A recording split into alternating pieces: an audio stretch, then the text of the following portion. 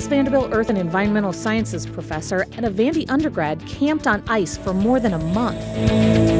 I'm really interested in climate change and how it actually impacts ice.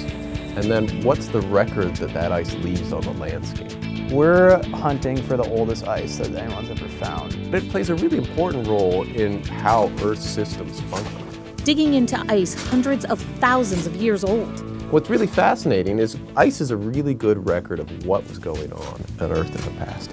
It collects air bubbles of what the atmosphere was like, just the chemistry of the water that makes up the ice changes due to temperature. Minnesota undergrad Andrew Grant is up for the adventure. The more I thought about it, the more I kind of wanted to disconnect from, you know, technological society for a bit and do something way out of my comfort zone and do something that's meaningful. In a once-in-a-lifetime experience. The sun is up 24-7 in the austral summer. If it's not windy and no one's walking around, it gets so quiet that you can just hear your heart beating in your ear a little, and it's sort of freaky.